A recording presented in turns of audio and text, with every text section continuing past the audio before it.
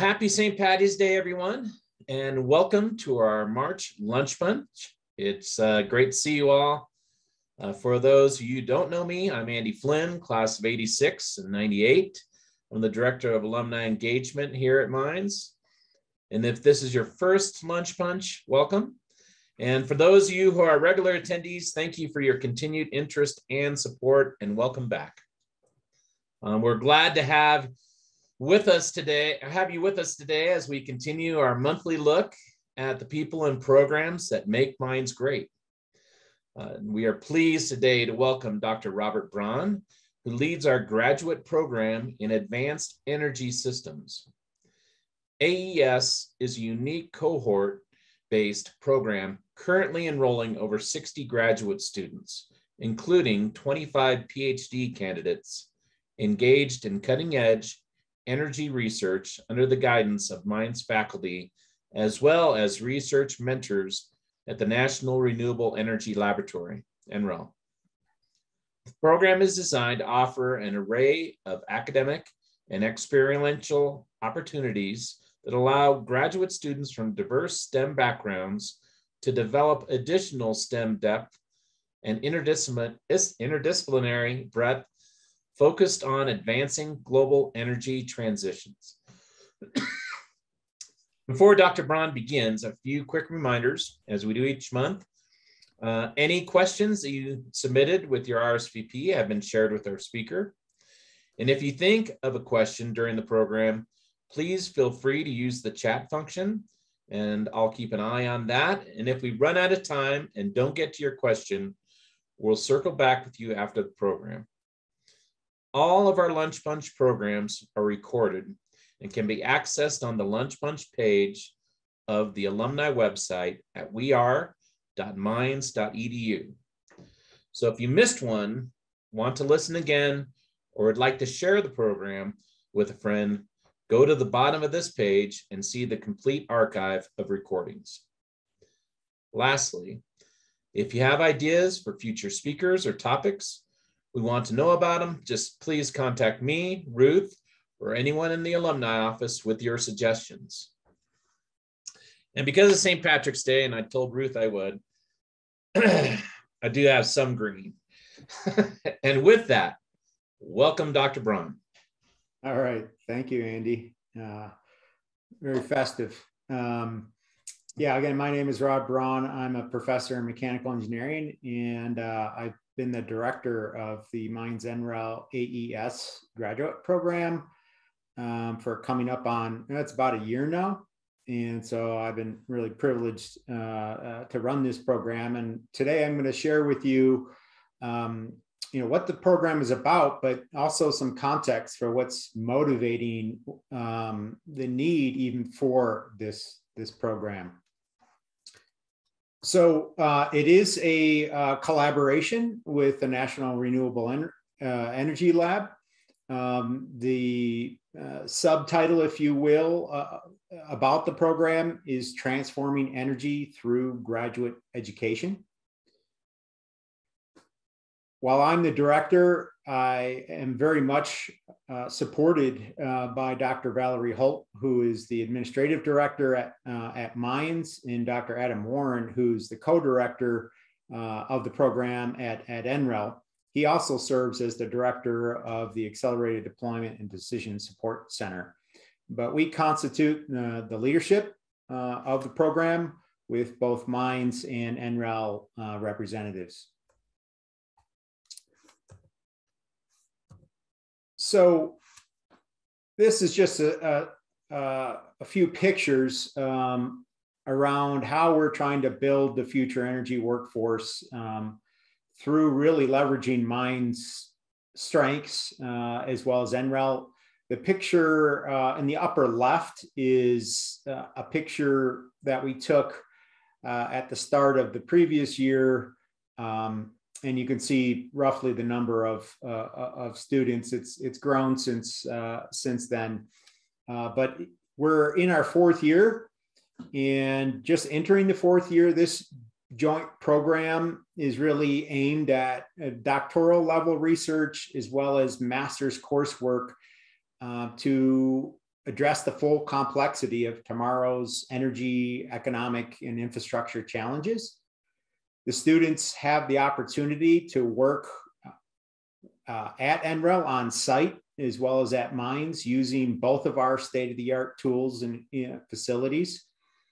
They get to network with leaders uh, at both institutes as well as more broadly at, through conferences and, and interactions of DOE and, and other sponsors and collaborators. And it's an inter interdisciplinary effort. So one thing that I think is important to recognize is why an advanced energy systems program. Uh, the problems in this century are multidimensional and transdisciplinary in nature. We are in the midst of uh, various kinds of energy transitions that are happening at different paces and in different sectors. Uh, they involve resources, infrastructure, economics and policy, environment, and so forth um, as I tend to tell my students, you know, the easy stuff's been done. Um, the, you know, building out uh, internal combustion engines and getting them to work at high efficiency, this, uh, while the vehicles themselves today may be the most engineered um, device on the planet, uh, we are moving to other drive systems as well. Um, and in some sense, the 21st century is, is going to be, in my opinion, characterized by some complexity and systems integration of technologies that are going to be needed um, to uh, generate the solutions um, uh, for um, and, and, systems level thinking that are going to be needed to solve some, some of the energy and environment issues we are beginning to face.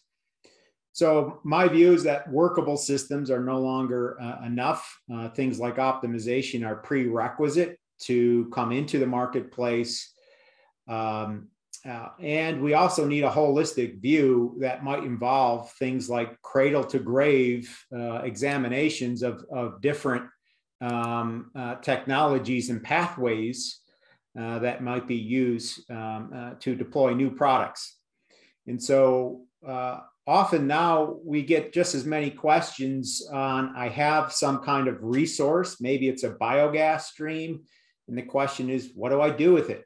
Do I burn it? Do I run it through a fuel cell to generate uh, electricity? Uh, should I separate it in, in uh, capture CO2 and use uh, methane or, or convert it to bio, uh, a more pure biomethane resource? We need people who can answer those questions just as much as we need people who can go in and look at microstructures of electrodes and develop new materials and catalysis sets. And so we need this full spectrum. Uh, so we're working on uh, the multidisciplinary team aspect. Uh, of course, um, once you hit a certain technical threshold, your ability to um, succeed in the marketplace then becomes um, dependent on soft skills around leadership, communication, organizational skills, et cetera. And uh, we are also working at making sure our graduates in professional degrees have those skills so that they can succeed uh, beyond simply the technical uh, litmus test of being able to hold the job in the first place. If we look at the trends, I think you know you, you have all seen these trends of, about environmental drivers across the landscape of different sectors such as transportation, um, we're also seeing that in heavy uh, uh, industry in terms of um, uh, container ships, heavy trucking, um, with Maersk, uh, for example, targeting zero carbon emissions by 2050. We're also seeing some 40 municipalities and cities around the US banning natural gas, at least in new buildings. Some municipalities banning it entirely. Um, who knows if if they'll be able to meet their their energy demands with uh, electrification of of building energy um, uh, systems, for example. But uh, those are where the trends are headed, uh, like it or not. And you can see things like hydrogen. Uh, lots of talk around hydrogen, and even in in Golden, where Andrew Kors and, and his uh, company had Composites has seen storage tank quotations rise uh, from as little as 2 million in, I don't know, maybe 2014, 15 to now 450 million uh, uh, last year. And uh, things like small gas turbine markets have, have cratered uh, in the last few years. They've rebounded some, but you can see um, some of the writings on the wall as we look at what's happening in these sectors, including uh, different drivetrains for, for ships around fuel cell systems, and, and then, of course, running fuel cells in reverse as, out, as electrolyzers to make hydrogen. All of these are where we see things uh, happening. Um, and this movement towards decarbonization, if you will, is, is one in which there's growing electrification of, uh, across the energy sectors. And that tends to create a more interconnected energy system. Um, and when you have more interconnected and more renewables, you, you may be familiar, you get this duck curve and where you have lots of solar, for example, PV, uh, uh, electric energy generation during the high points of when the sun is shining and then uh, because all of that is installed uh, on the grid, um, that begins to uh, decrease as the sun sets. And of course, the evening loads uh, uh, um, increase and, these power plants that are base loading need to ramp up.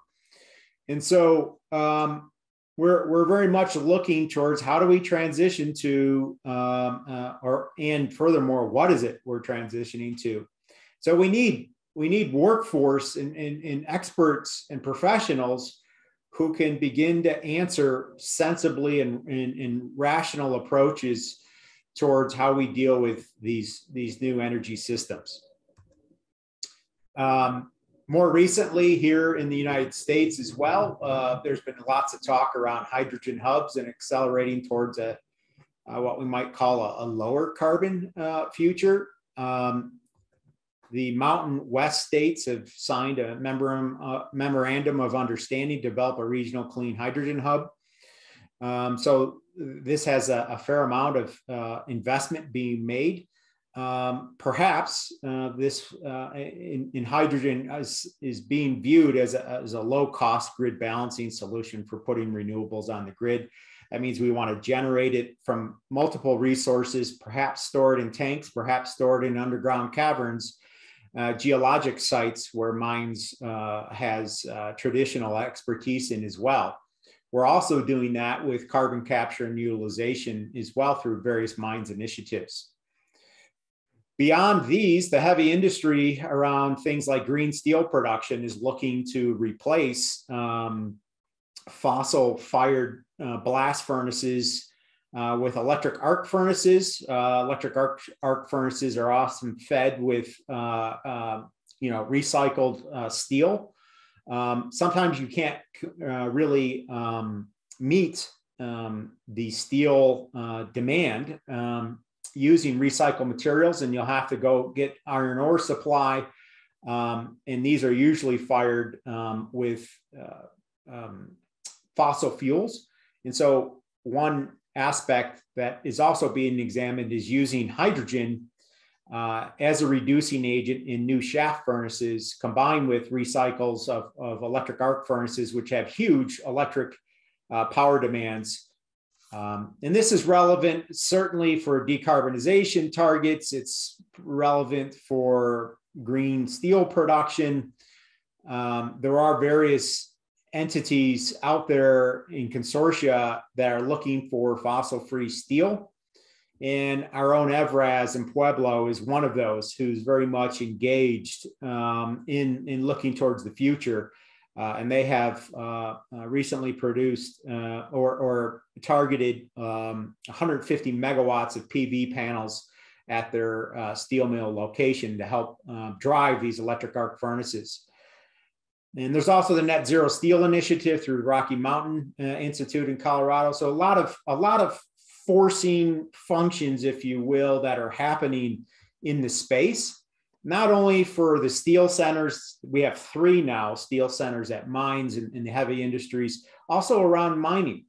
And so mining design and operations are, are really becoming system level problems uh, for the increasing pressure on low cost uh, iron ore, copper, lithium, gold mines, um, and, and are targeting uh, net zero emissions. Uh, so these are um, where the workforce uh, is needed. Um, and we're already beginning to look at clean energy, uh, mining operations, opportunities, challenges, and approaches uh, in collaboration with NREL and our own uh, faculty at Mines. Furthermore, Fortescue um, Metals Group, the fourth largest producer of iron ore, has signaled they will be investing in carbon neutral technologies, fully transitioning within less than 10 years now. Um, they're looking to set up a technology innovation hub, possibly in Colorado. Uh, we've been working with the Colorado Energy Office, the governor's office, and all the, the uh, uh, Colorado institutions uh, to um, encourage them to come here and, and do such a hub. So there's this idea of electrification with renewable energy, and as it moves to serve those electrons to different end sectors that involve transportation, uh, uh, high process heat and industry feedstocks, um, how are we going to do this? And if we have cheap electrical energy, uh, that can open up the doors for all kinds of new, uh, um, that as a feedstock for, for different kinds of, of production. Uh, we could make gas and drop it into uh, natural gas pipelines and blend through power to gas routes. We could store it in underground caverns. Um, we can take uh, recycled CO2 and develop fuels and chemicals these are the new paradigms that that we are beginning to uh, face as we look ahead to what the rest of the century holds and these uh, the electrification of these sectors does complicate the supply and demand picture across um, the various sectors so our program vision at aes is to kind of shape some of this energy transition and provide the workforce that is leading to a, a um, um, and, and, is needed um, through uh, a collaboration with the National Renewable Energy Lab, looking for research placements and rotations through the different laboratory groups. If depending on how you're familiar with it, they have a biomass, thermochemical, and, and biochemical energy conversion group. Of course, they have PV, wind, uh, uh, and concentrating solar. Um, and so our, our plan is, is working with them where, uh, at least at the graduate level, there are PhD theses that are co-supervised by Mines faculty and NREL staff. Um, and there are also uh, master's thesis, professional degree core courses where in which they take um, a core ba- a course-based non-thesis opportunity emphasizing energy technologies and, and also being exposed to the policy and economic dimensions of the energy challenge. And so that looks at things like business models for how energy is transported and stored. How does the grid work with pricing? Um, and then how do the economics and policy govern um, and influence uh, these business models? And that involves uh, them looking at things at a big picture. Uh, and as you'll see, also uh, um, this big picture rests on what we would call fundamental uh, science, technology, and engineering and mathematics as well. So the whole STEM effort of, of the research is at the core, yet we need our students to climb the ladder and understand the context um, for the problems they're working on in, in their own research. This energy related R&D is also informed by the policy. So uh, you may be familiar with Morgan Bazilian running the Payne Institute for Public Policy um, lots of different um, influences. Um, Morgan has the deepest Rolodex I've ever seen, um, knowing all the major players as board members from uh, leading energy companies, leading mining companies, as well as folks from Stanford um, and some of the leader, leading uh, thinkers and thought leaders in the space. And our students get to attend these lectures and seminars uh, from the Public Policy Institute, as well as uh, Morgan uh, co teaches the Energy Policy and Economics course that's in our core program. So, our aim is cutting edge research and, and new workforce prepared professionals. Um, and that's through two degree levels the PhD, which is really a four year program, and an MS course based uh, program that's one and a half year program which combines the STEM depth with an interdisciplinary breadth. Um, the point here is to leverage the traditional strengths of mines across its core disciplines of geology, uh, mining, materials, um, physics, and uh, thermal fluids and chemical engineering, for example, and, mechanical engineering. Is, and so currently um, we have around 25 PhD students and 35 master students. Um, we will continue to grow. Next year, we'll reach our full strength of PhD students. Uh, should be approaching 65 to, to 70 students uh, overall.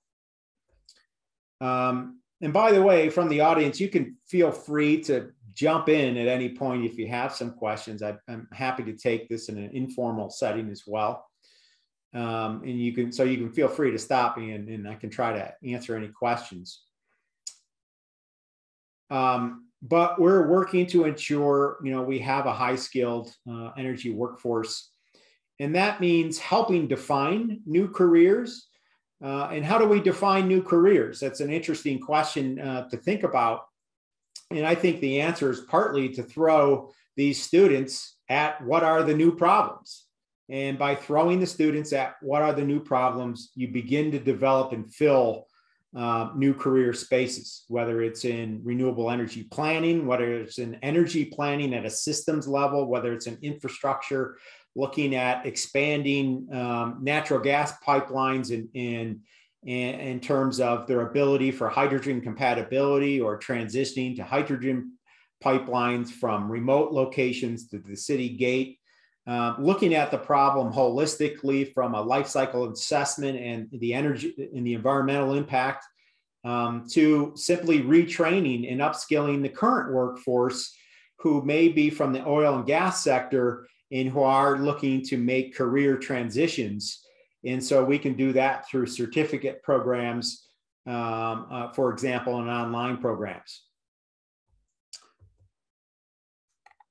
So that uh, program uh, that we're envisioning offering career development through a continuum, um, through the PhD, offering PhD and MS uh, degrees, but also retraining, as I just said, focus on certificates and industry specific online uh, courses, perhaps short courses is generally how we do it at Mines in eight, eight week uh, intervals. Right now, we haven't stood up this component of it, but this is part of our future vision. And then looking through things like National Science Foundation and industrial internships uh, that allow us to uh, do outreach at the K through 12 level and the community level as well. So, to give you a feel for what exactly is the research, what are we talking about in these programs? Uh, some of it uh, simply amounts to looking at the new problems we're faced with and how do we give industry and working professional new tools that help us to design the energy systems of the future that have to meet the end, end use, end sector loads. So data centers are growing at a rate of 2%. They're some of the largest consumers, energy consumers um, on the planet. Uh, these installations can, can uh, need two to 300 megawatts by themselves, by the way, uh, for large data centers. Um, and uh, folks like Microsoft have put a stake in the ground, basically saying they're going to be net zero energy supply. So, how do we do that? These are the demands, and how do you meet those demands? And we need tools that can look at variable energy resource supplies like wind and solar, which are not always, the wind's not always blowing, the sun's not always shining. How do we design these systems? How do we size them? What is the heterogeneous mix of base load energy supply uh, from various prime movers to renewables to meet these loads? Are we going to take, uh, you know, from the grid Water, of course, is getting to be a scarce resource. And so there's this nexus of water, energy, uh, and, and emissions. Um, and so we need cost optimized and environmentally optimized solutions. And so Mines and NREL have been significantly updating and enhancing uh, tools, one of which is the REopt tool. It's been done through this program uh, and beyond the AES program that looks at the drivers, um, economics, costs, incentive, utility features, uh, maximizing energy resilience for due to uh, outages uh, from harsh weather events, um, and adding things like CHP, base loading technologies uh, that looks at things like the site demands and takes into account the user objectives of what any given user. It could be a building owner operator, could be a uh, could be a die casting facility or a manufacturing plant that wants to find out what array of technologies uh, in the context of your utility costs can they select to be competitive and yet move towards uh, a more clean energy vision. Furthermore, in the lab, things that happen at mines, for example, we have a fuel cell center. It's one of the leading fuel cell centers and, and electrochemical centers uh, in the world. Uh, how do we move from the technologies that are being developed in the lab and scale up to give solutions fast? And so there's a tech transfer component is there, and that involves uh, modeling fundamentally, uh, doing process systems in engineering and technoeconomics. And, and, these are the things we want our students to go to span the breadth uh, of, of fundamentals all the way out to the system techno-economic view. Um, so some of the example projects um, that are currently ongoing is Jeffrey Gifford. He's looking at uh, new ways to take renewable energy and take particles, uh, sand particles, and heat them up. So what you do is you take excess electrons and you just heat up sand up to 900 C and store them in huge silos this is an example where of a technology that you could to repower or retrofit coal power plants and make use of all that stranded capital for Rankine power plants, uh, for example, steam power plants. And instead of firing coal, you take excess renewable energy, you heat particles up, you store the thermal energy, and you dispatch that through that same capital uh, cost you've had previously in a steam or Brayton cycle uh, power plant and you would discharge those high temperature particles in a heat exchanger and um, then fire, if you will, through heating up air uh, or steam uh, um, uh, and generate electricity. Kate Anderson, recently the first minted PhD student out of the program, uh, was leading the, a lot of the REOPT uh, reformulation effort that led to looking at different kinds of technologies integrated together uh, to produce minimum cost uh, solutions. Uh, cohort two, uh, PhD student uh, Amogh Thatte, he's been working with me in mechanical engineering, joined the AES program. He's looking at the economic and technical aspects of integrating electrolyzers on the grid. And so there are programs with Xcel uh, for example, that's looking at high temperature electrolysis, integrating it with nuclear energy, and putting electrons out on the grid, uh, taking electrons from the grid and making hydrogen. Uh, Dr. Uh, Braun? Yeah. Just uh, had a had a question pop up, and I, I thought I'd throw it out there. Uh, was um, are there any focuses on microgrids for community or small areas to ensure energy stability? Yeah, so Dr. Paulo Tabares, we're working with out of mechanical engineering. He's part of the AES uh, mines faculty uh, who's working on microgrids and distributed energy for community-based um, programs. Um, Mines is looking, you know, at some of their new buildings that will be resurrecting to instrument them up and study ways of um, of using phase change materials and different distributed energy resources in a in a uh, synergistic way um, and we've got some proposals in that involve AES, the AES program on Department of Energy connected communities um, um, funding opportunities, um, as well as through the Sloan Alfred P. Sloan Foundation. So the answer is yes, and it's it's it's an active area right now. I won't show anything on that now, uh, but yes, we are doing that. Um, we are working, uh, students have the opportunity to visit full scale installations and help them with their engineering problems. This is the Crescent Dunes site in Tonopah, Nevada. We students uh, at Mines have visited many times, um, in which we're um, uh, this is a full scale 110 megawatt power plant that has um, molten salt uh, energy, thermal energy storage tanks, um, and you can see the, the students and, and the faculty and NREL researchers looking at novel molten salt steam uh, um, uh, boilers uh, that have to deal with things like thermal shock, thermal stress, um, as they as this power plant cycle. Um, and we're helping them optimally dispatch the thermal energy for maximum revenue uh, for these kinds of sites, as well as looking at some of the uh, engineering challenges of dynamic operation. Um, and so this is leveraging a lot of Mines' expertise, uh, both thermally from an operations research, uh, collectively with um, with uh, our, our students. Um, the aim is a breadth on top of depth uh, approach. Um, and uh, so to give you an example, this is a um, more of a chemical engineering, process engineering project, which was looking at fast pyrolysis of biomass. And so that one of the challenges that the NREL folks were having is they need a process engineering model that is going to take biomass um, and produce um, pyrolysis vapors, which can then be vapor phase upgraded uh, to liquid fuels uh, from biomass in a biorefinery. But they don't really know how to design um, uh, the fluidized bed reactor.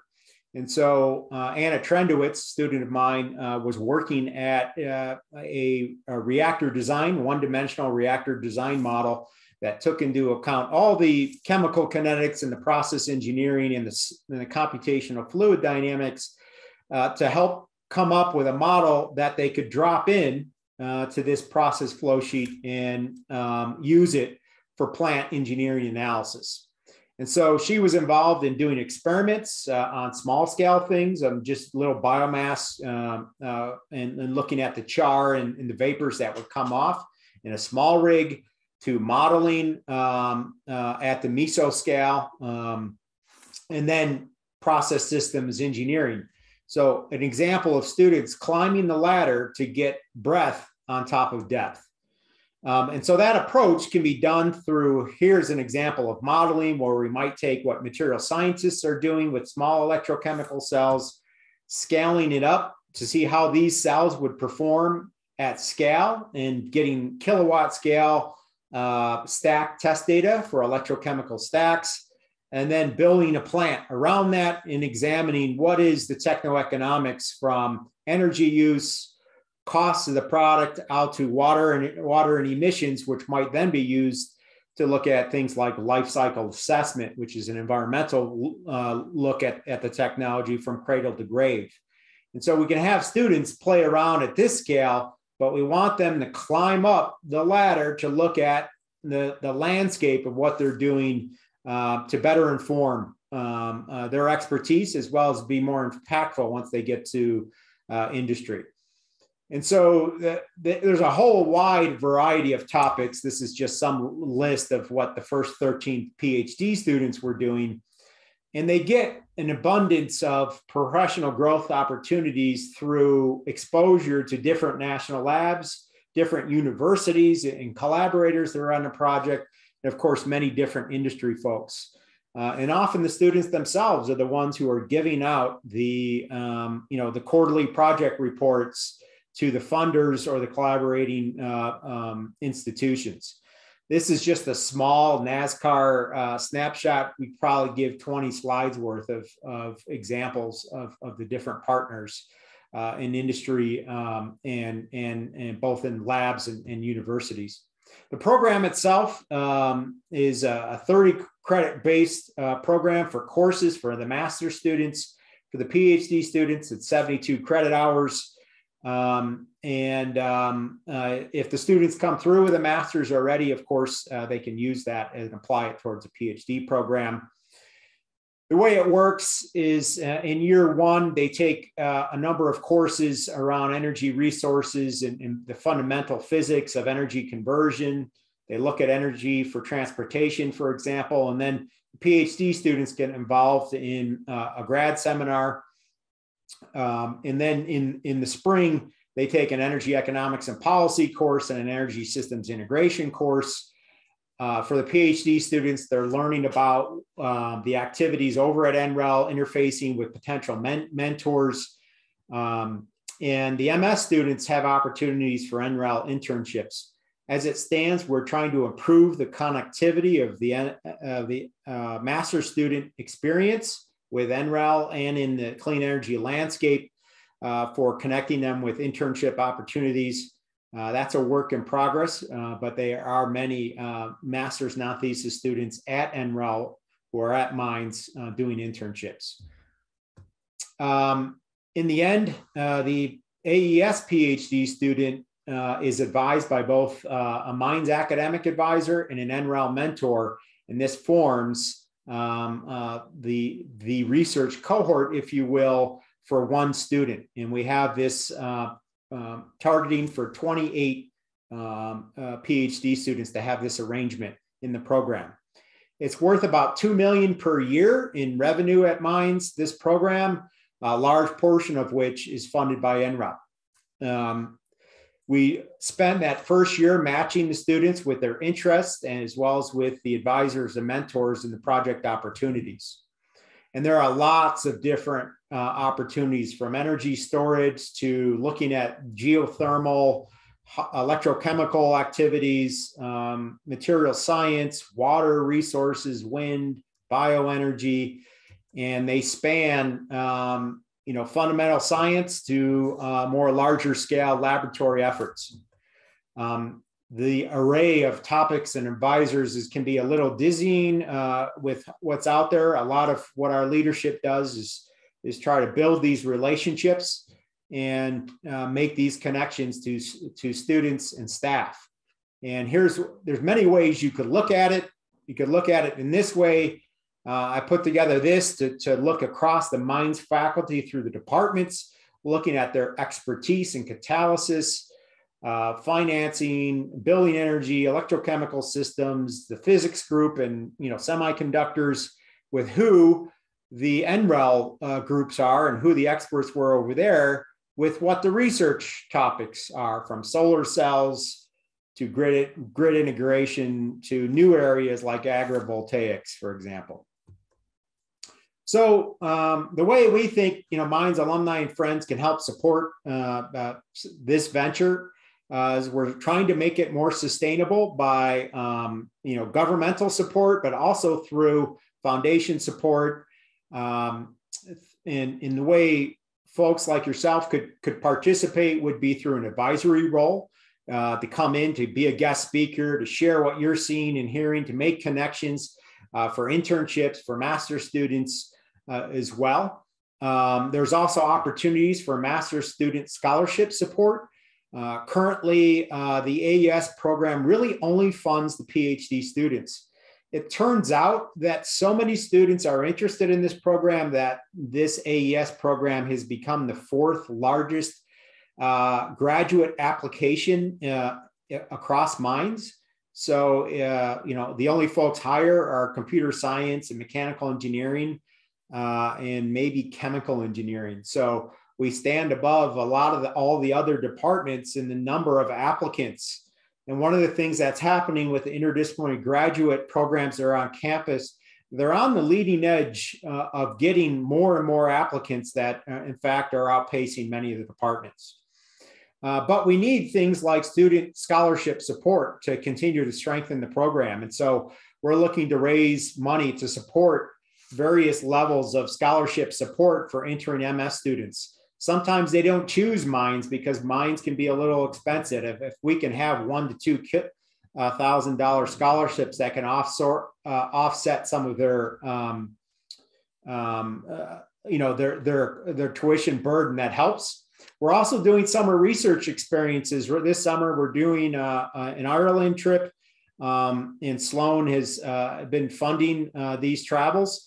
Uh, we're looking through the Goldmine um, um, uh, kind of cloud share uh, funding mechanism to raise uh, money for uh, future trips and to supplement the funding for cultural exchange.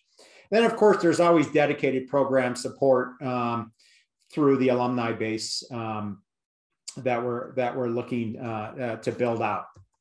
So, um, in particular, next week, uh, uh, the AES cohorts are launching a campaign on Goldmine, their official crowdfunding uh, uh platform for mines. Our primary goal is to raise money for graduate students to attend uh, important summer research experience in Ireland, uh, where they're going to look at wind and how Ireland, as an island nation, is dealing with transitioning to renewable energy um, and in things like uh, their technologies, um, their grid interconnectedness, um, and also generating things like hydrogen. Um, also, we're trying to raise awareness about uh, this AES program. And so Ali Dugdale will be sharing a link to our campaign uh, once it's live. Um, and so I hope you've enjoyed this uh, snapshot of what's happening at Mines through this program and happy to take any, any questions. Yeah, I have an initial question, uh, Dr. Braun, from uh, William uh, Grovier, and, and it was, does the AES program grant its own degrees or are they still with the traditional departments? Yeah, so like most interdisciplinary programs, the um, the professional degrees are literally stated on the diploma, a degree in advanced energy systems so they're not affiliated with the departments. Although the program itself, in terms of the core faculty, draws on many faculty, faculty across Mines from the departments. And of course, the students need the STEM depth, and they get the STEM depth by taking the electives in the research uh, specific areas that they need whether it's in materials from fundamentals of ther- thermodynamics of materials to chemical kinetics and reactor design to you know advanced heat transfer from mechanical engineering they take these courses for example uh, to get them the fundamental preparation they need to, to successfully execute their research uh, and then we use the, the aes specific courses to provide them with the breadth and the connectivity to NREL.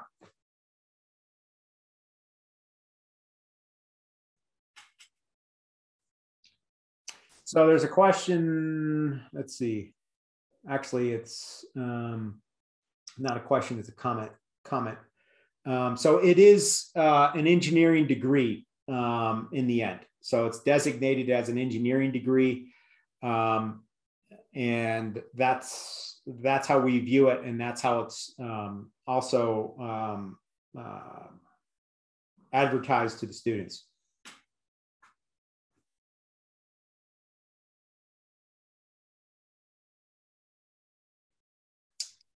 Any other questions out there?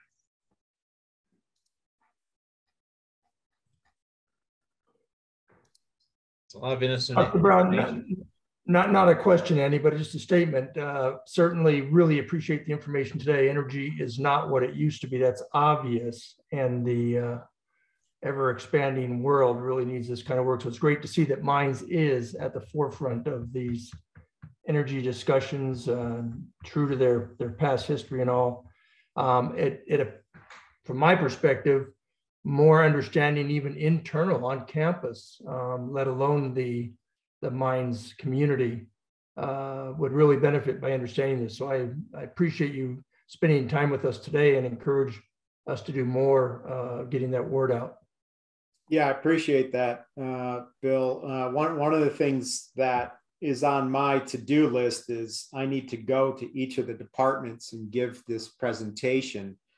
Um, many know about it, have heard about it, but what is needed is to, the linkages and the logistics and how do you actually you know get involved and internally we we also have our own you know kind of bureaucratic challenges of how they're funded and, and how the faculty who advise get credit.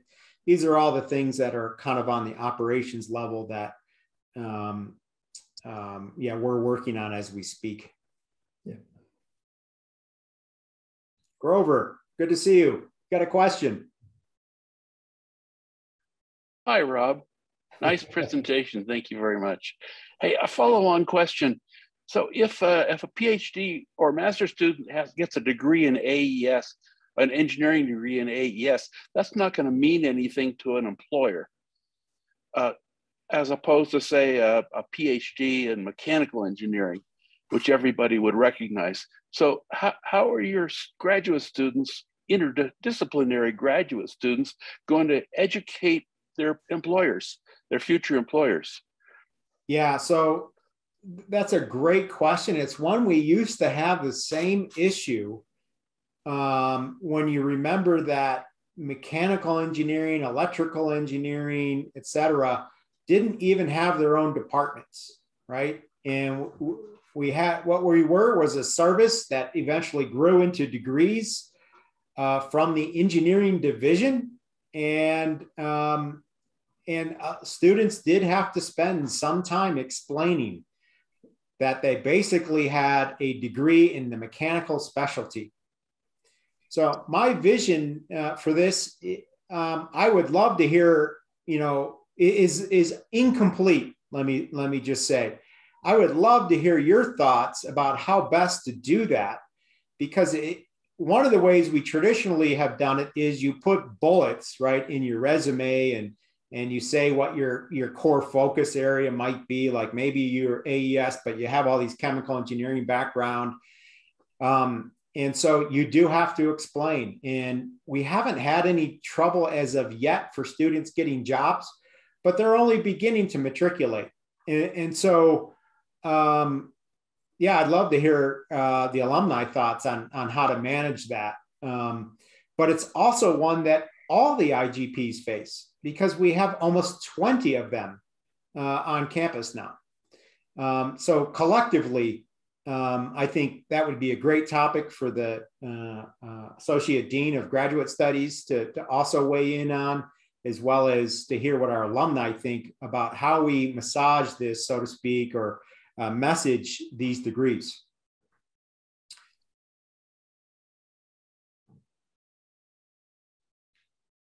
So, Dr. Braun, I, I had a, I was curious about because uh, these are pretty complex ideas. They're new, new energy systems, or um, maybe modified or improved uh, energy systems, and and need to be scaled. You know, from where you're looking at them. What is what kind of ramp up time are you looking at? I mean, are we looking at things that might be viable in five years, ten years? Three years? What what is the the thought behind those types of processes you're looking at? Well, um, you know, as I stated, there are many companies, not only uh, those mandated through federal mechanisms, but there are many companies who are looking already transitioning. Um, so I mentioned Fortescue; they're a good example. And it's I mentioned them in part because it's on the top of the my of my mind. We hosted them. Um, they are bringing up to us, and, and this is you know they're an Australian company, so they are talking to us about things like energy justice and where are they going to get the workforce um, to to staff um, their company to to chat to do these challenges. And so you know they put a stake in the ground um, you know for, to be the largest green hydrogen producer. Now to be the largest green hydrogen producer you need large consumers. And so uh, they're looking to places like evraz steel who you know basically consumes 7 billion btus per day of natural gas just to fire the ladles and the furnaces. Um, um, and as they decarbonize, which they are looking to do as well, they're going to be a hydrogen demand. Uh, they're going to try to fire as many as they can, of course, with electric energy. But we have trouble um, in in these electrification of power systems because some of the batch activities have huge electrical energy demands in short amount of time. And the best way to serve those demands may not be through uh, high voltage, you know, transmission lines. Uh, you need um, uh, high throughput pipelines that carry four to five times more energy than high voltage electrical lines do. Um, and that's through pipelines. And so we're going to need to build out new infrastructure um, in this interconnected energy systems. And so, how do we do that? We have wind, for example, in Wyoming, lots of it. Uh, does that mean we're going to start lo- co-locating uh, industrial users up there? We don't know. I don't know who knows the answer to these questions, but these are the, the problems we now face with how to recast uh, um, uh, these interconnected infrastructure around energy transmission, supply, demand, uh, and generation, right? So I simply don't have the answer, but these are the problems that we want to unleash these students out on um, so they can, um, you know, these are where the new careers are.